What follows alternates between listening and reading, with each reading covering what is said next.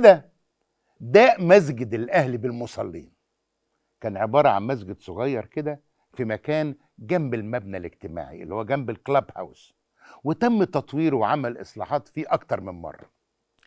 يعني جه في جلسة 6 إبريل 1949 عرض حضرة المحترم الأستاذ محمد محمد مذكور بك أنه سعى لدى وزارة الأوقاف فمنحت النادي مبلغ 49 جنيه و695 مليم للمعاونة على عمل منبر وإصلاح مصلى النادي وقدم عزته إيصال من بنك مصر. دال على إيداع المبلغ باسم عزته أمانة بالبنك لهذا الشأن. فتكرر كتابة خطاب شكر لوزارة الأوقاف.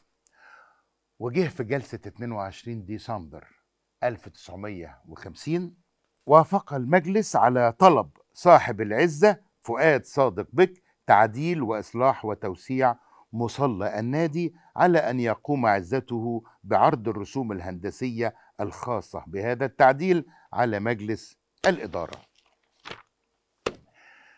وزي ما إحنا عارفين فؤاد صادق كان زوج الأميرة فايقة أخت الملك فاروق.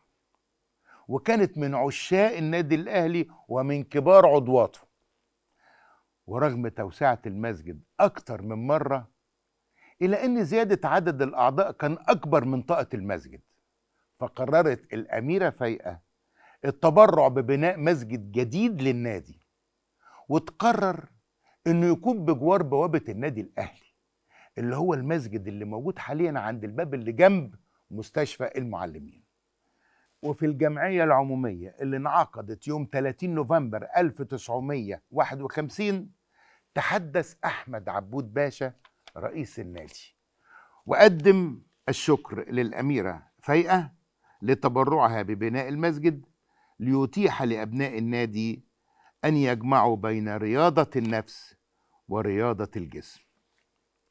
في الوقت ده